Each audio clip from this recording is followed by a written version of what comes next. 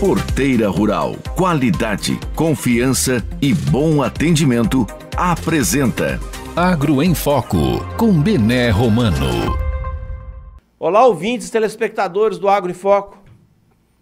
No mês de janeiro acontecerá a Conferência Nacional de Educação, o CONAI 2024, que teoricamente deveria ser um espaço democrático, sem viés político, aberto pelo poder público para se discutir a educação nacional. E então, dali, saírem as estratégias e planos para o desenvolvimento de um sistema educacional eficiente.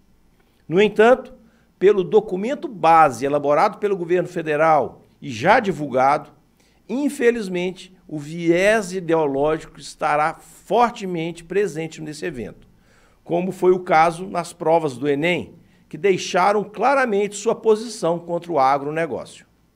Uma outra mostra de como será o CONAI 2024 e seu posicionamento em relação ao agro é que o MST e a CUT foram chamados a contribuir, enquanto a Confederação da Agricultura e Pecuária, principal representante do setor agropecuário, nem sequer foi listado.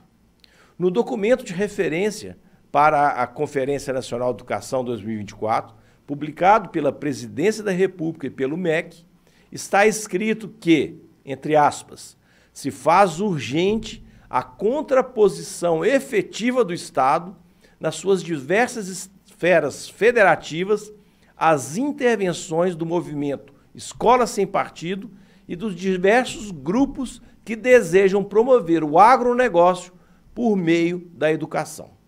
Ou seja, o governo federal quer politizar a educação e destruir iniciativas fantásticas, como o movimento de olho no material escolar, que surgiu em São Paulo em 2020, como reação a conteúdos ideológicos distorcidos sobre a agropecuária brasileira em livros didáticos.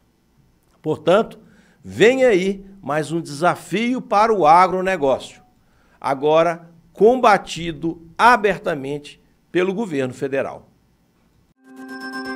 Assista esse e outros episódios do Agro em Foco no YouTube da Jovem Pan Patos.